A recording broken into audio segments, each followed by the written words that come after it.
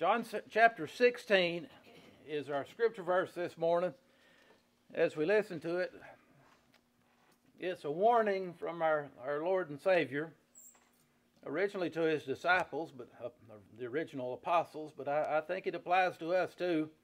John 16, 2 and 3 is a, a warning for us. They'll, they'll put you out of the synagogues. He was talking to guys who were originally Jewish at that day. Yea, the time cometh that whosoever kills you will think that he does God a service. And these things will they do unto you because they've not known the Father nor me. Let us pray. Lord, we do thank you for the Word of God today. As we read it by faith and receive it by faith, Lord, we ask you to speak to us and give us ears that we may hear what the Spirit says to the church. It's in Jesus' name we pray. Amen.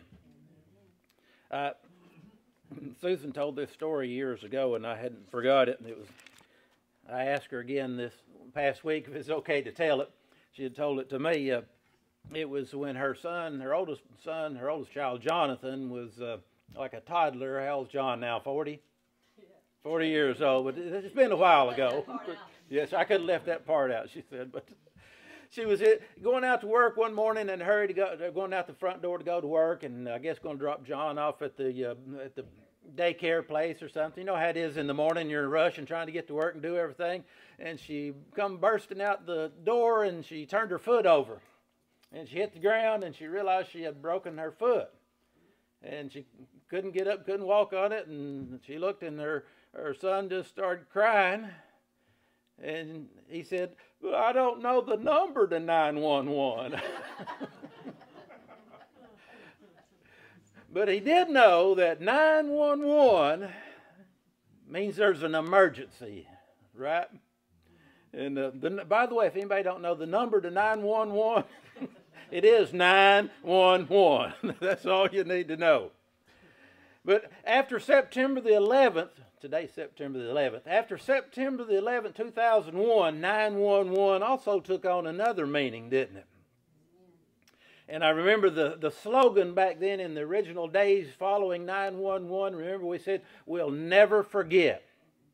We'll never forget. And uh, we, we have a tendency to do that, though, don't we? I hope that as long as I'm alive and I'm your pastor, you'll never forget because I won't let you forget.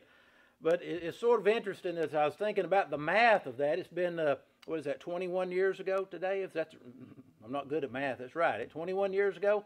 So then I was thinking about. Uh, when I came into the world in April of 1962, it was actually closer to the Pearl Harbor event than it is this side of my life looking back at 911. Can you believe that? It was like just barely 20 years ago when Pearl Harbor happened in, in December 1941 when I was born.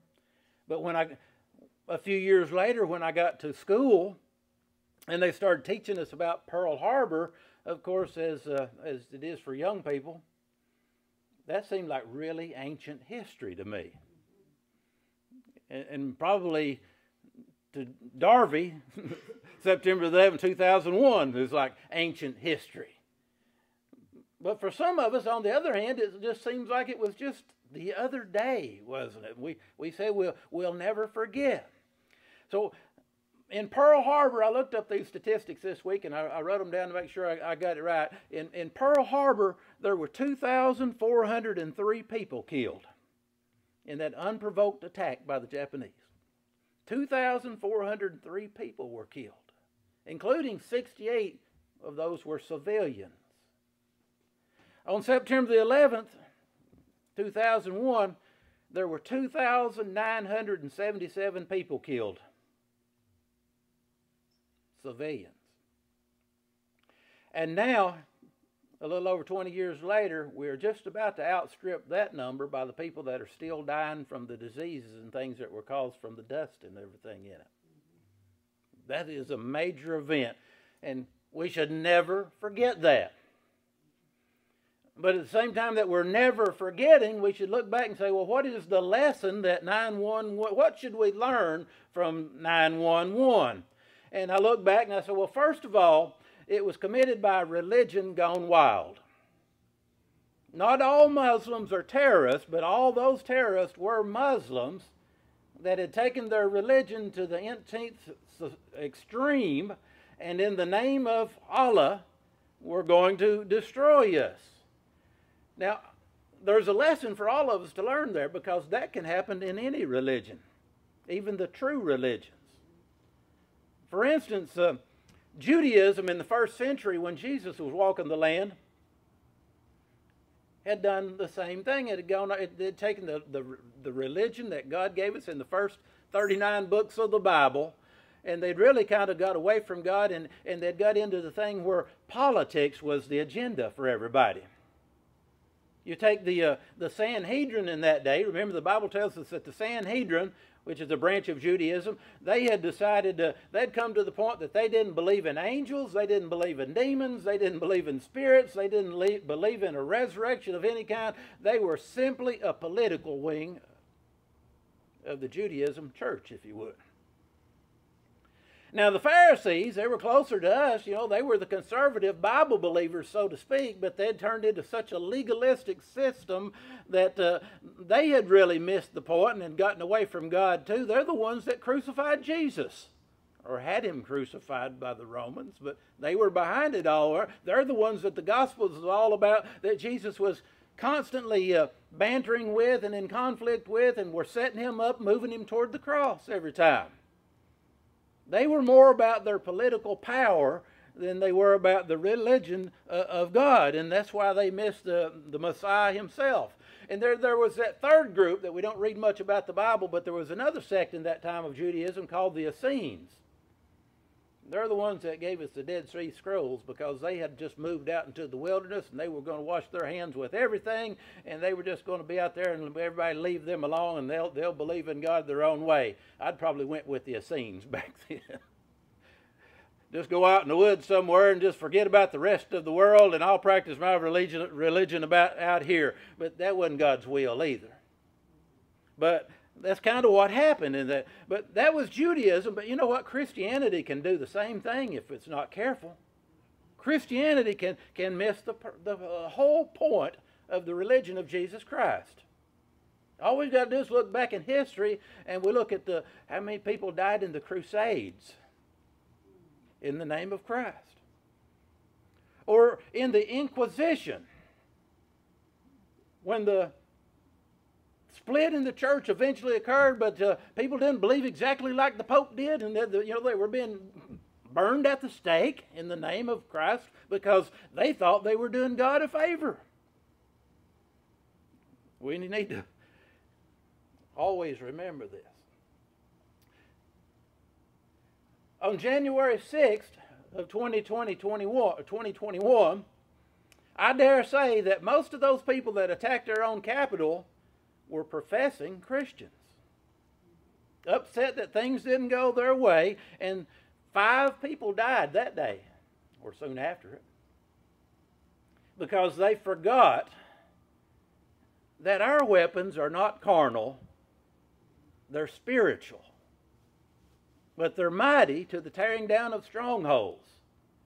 But we wrestle not against flesh and blood, Ephesians 6.12 says. We, we wrestle not against flesh and blood. See, they went in there to wrestle and fight against flesh and blood. But that's not Christianity. That's not. This is what happens, though, when people don't stick close to the book, the Bible. If we stray too far around, it means uh, we forget. We have a tendency to forget. But we should never forget that we're supposed to love our enemies. We should never forget that we're supposed to do unto others as we would have them do unto us. We should never forget that we are supposed to pray for those who would despitefully use you and say all manner of evil against you falsely for his sake. We should never forget that Jesus said we're supposed to bless those who curse you. Bless and not curse, he said. But the serpent is subtle. And by that, it means this the devil can mess with you and you not even be aware that he's doing it. He's subtle.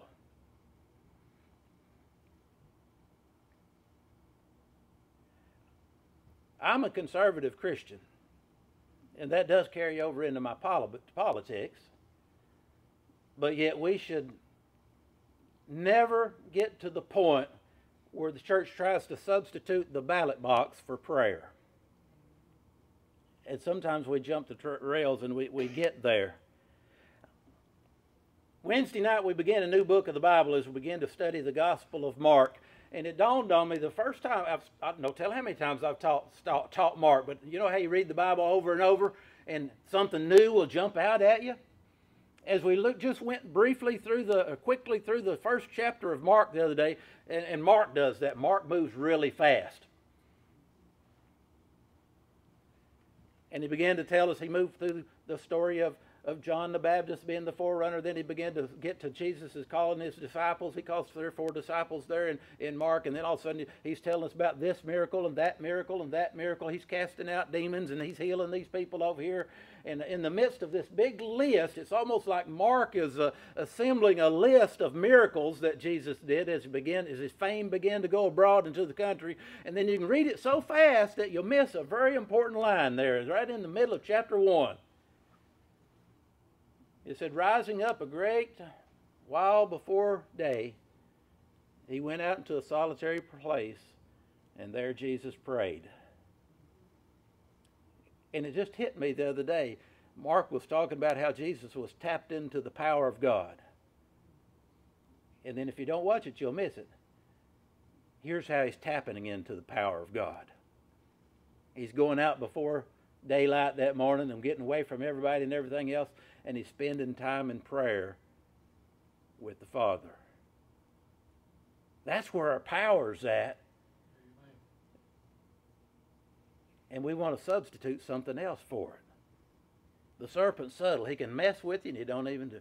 We should remember that that he's the serpent's subtle. We should remember this that Christians were here's a word that I didn't hear until recently with the social media thing.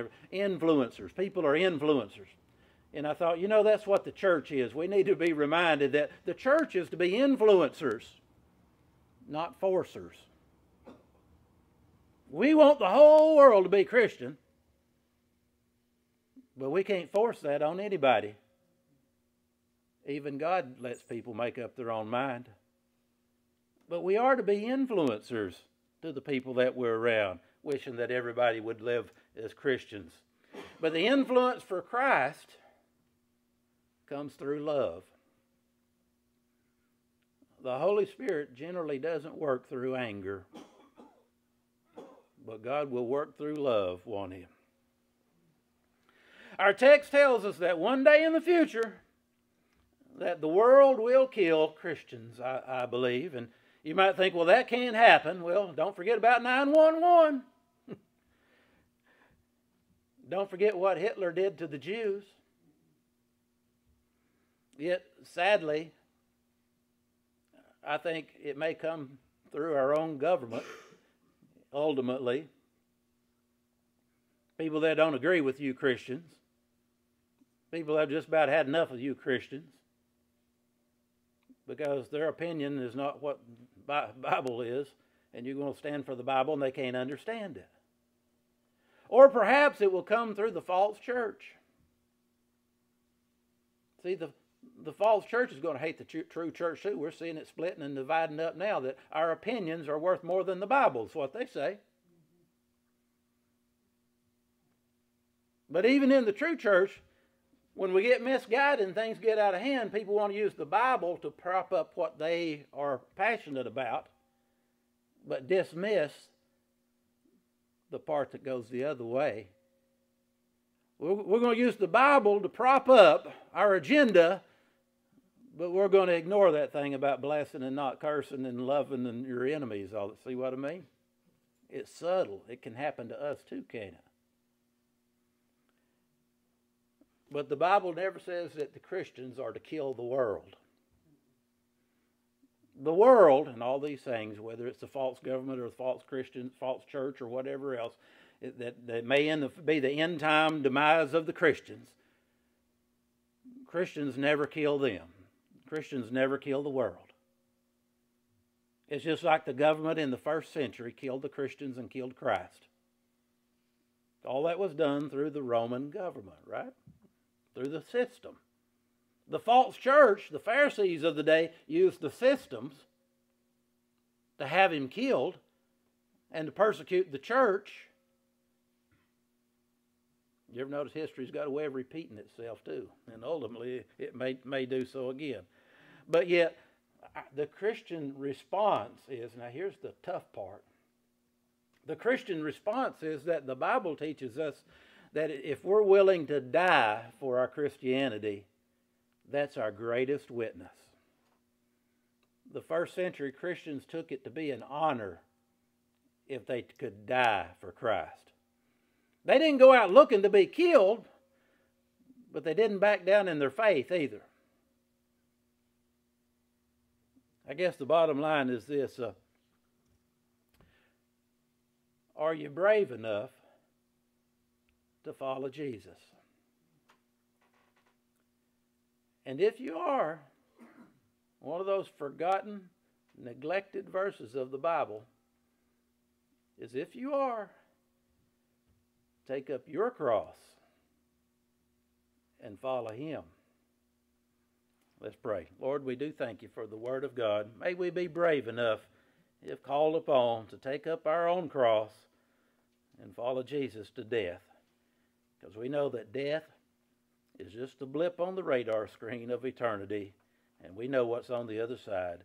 In Christ's name we pray. Amen.